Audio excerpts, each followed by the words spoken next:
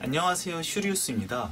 네 오늘 리뷰해볼 상품은 생각보다 배송이 빨리 온 아디다스의 Yeezy Boost 350입니다. 생각보다 아디다스가 배송을 빨리 해줬어요.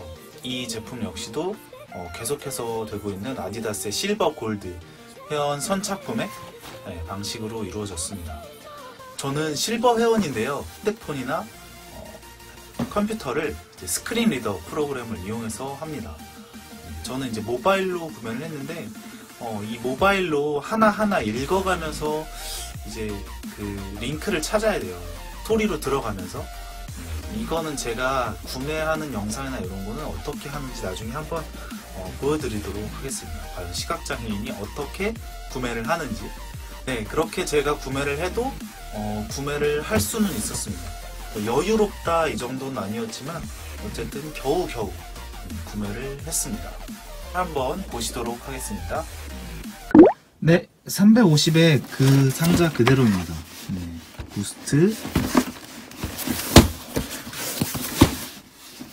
네, 재생지 박스를 사용한 그 상자 그대로고요. 사이즈 스티커는 이렇게 생겼습니다. 역시나 서랍식 박스이고요.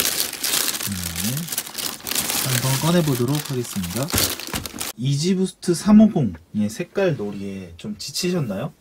네, 사실 이제 사람들이 Yeezy Boost 색깔 놀이에는 조금 지친 감이 있어요.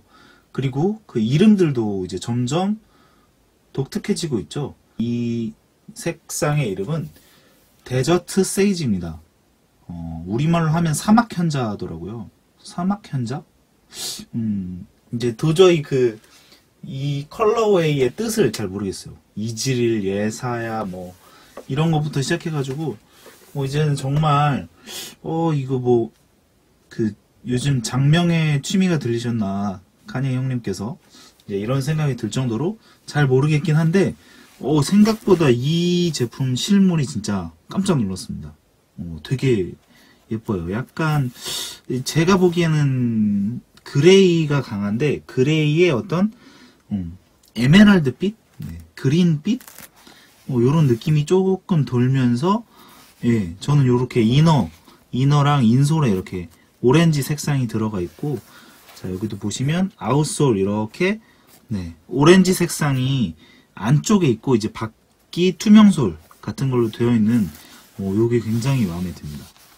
어찌 보면 Yeezy Boost 이전에 이제 전신이죠. 나이키 Air Yeezy Zen Grey 색상이었나요? 뭐 약간 그런 느낌도 좀 들고 앞으로 colorway를 낸다면 그런 에어 이지의 어떤 Red October라든가 뭐 그때 색상들을 내준다면 또 엄청난 인기가 있을 것 같은데 어, 이제는 사람들이 조금 지친 왼쪽으로 볼게요.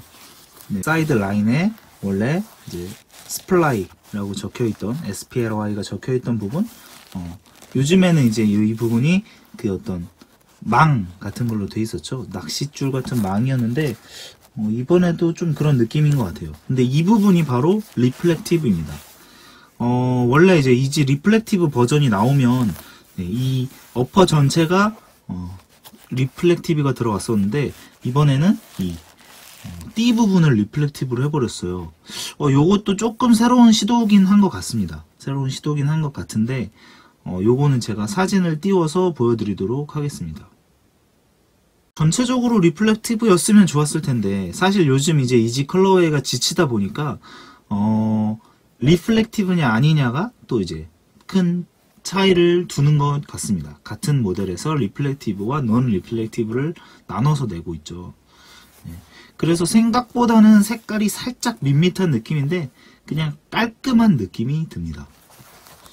뒷부분 보시면 네, 이 heel loop가 사라졌어요. 이 heel tab 여기 잡아주는 그 끈이 없습니다. 그래서 또 호불호가 많이 갈려요.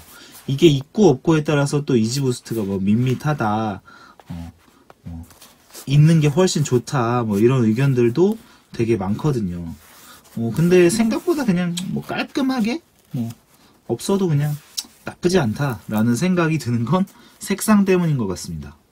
안쪽 보시면 독특하진 않아요. 원래 이제 색깔이 막 그 니트의 실짜임이 좀 독특하게 들어가거나 이러면 좀 튀기 마련인데 어, 이거 자체는 굉장히 어, 그 무난합니다.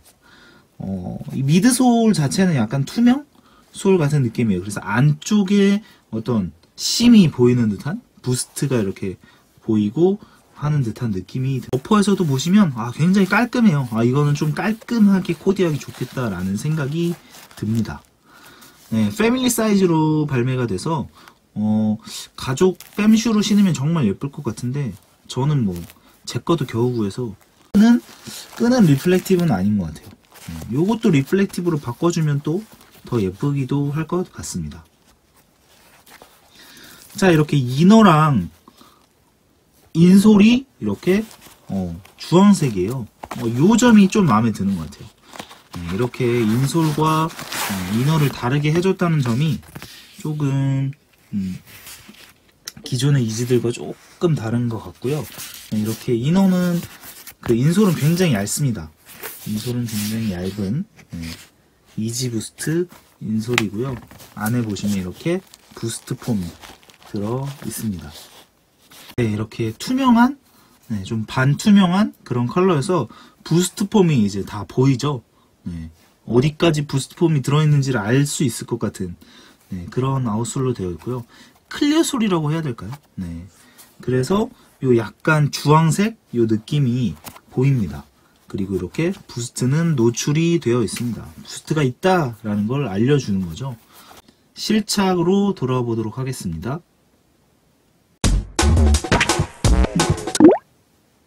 Yeezy Boost Desert Sage 사막 현자 신어봤습니다. 네, 어, 역시 Yeezy는 쫀쫀해요. 네, 신은 느낌이 쫀쫀합니다. 어, 굉장히 여러 가지 장단점이 있는데 Yeezy Boost는 확실히 어, 이제 처음에는 편한데 또 장시간 신을 경우에는 오히려 이런 말캉말캉한 Boost foam이 오히려 불편하다고 합니다. 무릎이나 다리에 발목에 무리가 갈 수가 있다고 하니까 어, 이런 점 참고하셔서 네, Boost 쿠션 구매하시면 되겠습니다. 네, 저는 현재 275 사이즈를 신고 있어요. 네, 제가 늘 신는 Yeezy 사이즈 그대로고요. 어, 나이키 Air Force One Low 270 기준에서 네, 반업 반 사이즈입니다. 어, 니트도 쫀쫀하고 해서 이 정도 반업 해주는 사이즈가 잘 맞는 것 같습니다. 쿠셔닝은 비슷해요. 네, 여러분이 생각하시는 그 쿠셔닝이고요.